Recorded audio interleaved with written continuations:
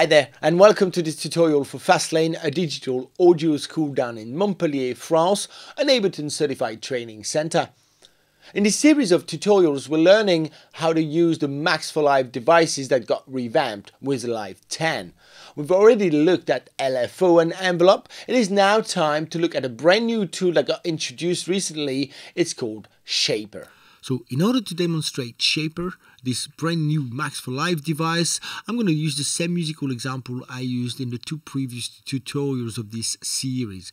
Remember, we learned how to use LFO from Max for Live. This modulator can be used anywhere within the platform, and we used it to modulate the sync on two oscillators within analog to modulate the texture of the sound, and we also used envelope and learned how to use envelope another modulator to make the detune of the two oscillators move in sync and in opposite directions. And the sound we got from these experiences was that.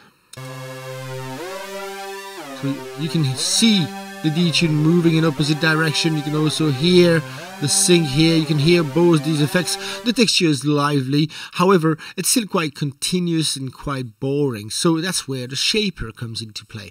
You've probably used, or some of you have probably used the LFO tool from Xfer Records. Great tool that has an integrated filter and multiple graphs we can use to modulate to make these parameters move. Well, that's what the shaper does, but it's slightly more potent. Let's go to our Max for Live tab and write Shaper. We'll find it in the Max Audio Effects. I'm going to load it behind the LFO here.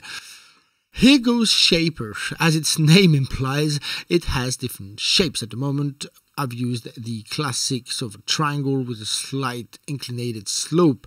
And I'm going to map this to absolutely whatever I want in Ableton Live. So instead of doing it on a fader like the last tutorials, I'm going to do it on the frequency of the sound and you're going to now see and you can hear the movement I'm creating inside that sound. Now I'm going to make this movement faster with the rate or slower, sorry. now that it's slower, I'm going to now implement more movement, creating multiple points into my graph. I can bend the curves using the Alt button to create the perfect movement. At the moment the dots here, the, the breakpoints are snapping to the grid. I can add more grid if I want more control and that will also help with quantization. Sometimes I've got trouble getting the dots.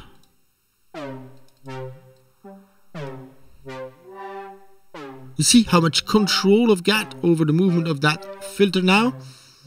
Yeah, I can reset everything with the cross here.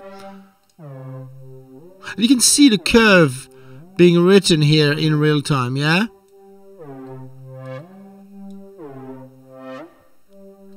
Yeah, how interesting is that?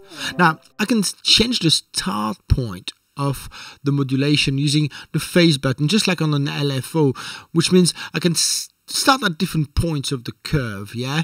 And I, I, can also now modulate the depth of the movement, so how wide the range of the movement will be. At its widest, you see, the frequency moves pretty wild, like so. And I can now set that slightly narrower I see the movement is narrowed. I can now change the central point of the modulation using the offset and place the movement exactly where I want it to be. I can jitter the movement using the jitter button, making it move erratically. I can smooth that movement with the smooth button next to it. So that's pretty simple to understand, pretty simple to demonstrate as well. Now, these um, slopes and these shapes here are just the starting point. Obviously, you can add as many breakpoints as you want into your automations, as simple as that. And as you probably know, with this logo here, I can assign the same movement to eight different destinations. So maybe I can, I don't know, assign it to the pan. And we're going to have a different movement on the pan and the frequency. If I adjust the values here, you see,